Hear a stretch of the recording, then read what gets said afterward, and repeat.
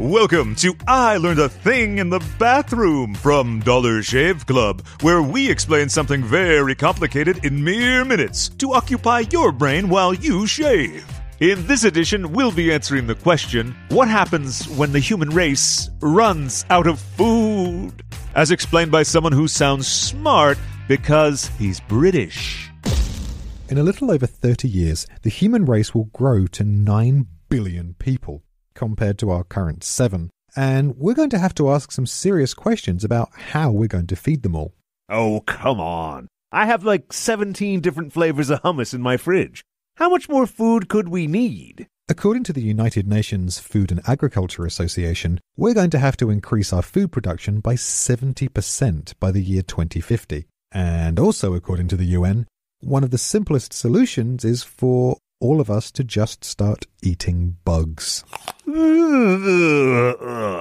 It's not actually that weird of a suggestion, outside of the United States at least.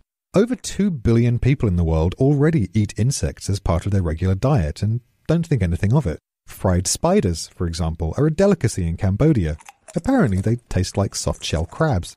Fried scorpions are a popular street meat in China and Thailand, and some Mexican eateries will happily serve you up a plate of French fried caterpillars or some chocolate covered locusts.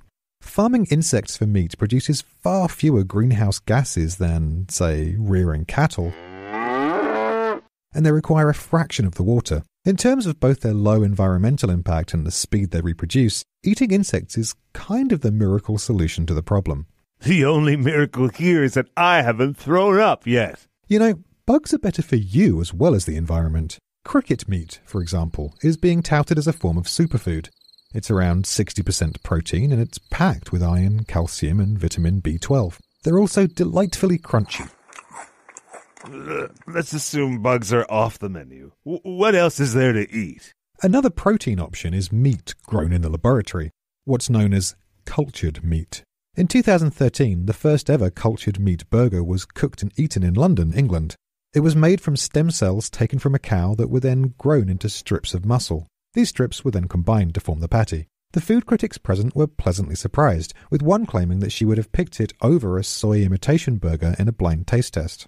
So it's meat from a petri dish. Uh, a petri dish.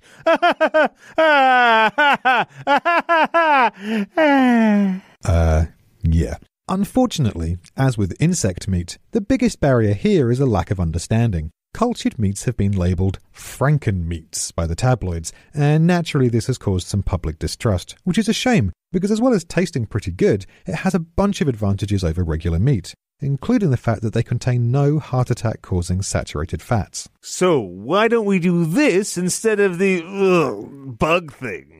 Cultured meat is currently too expensive to produce in large enough quantities, although the technology is improving all the time. In the short term, though, what we desperately need is for every country to unselfishly pull together and share their resources to ensure there's enough food for everyone. We're screwed, aren't we? Completely.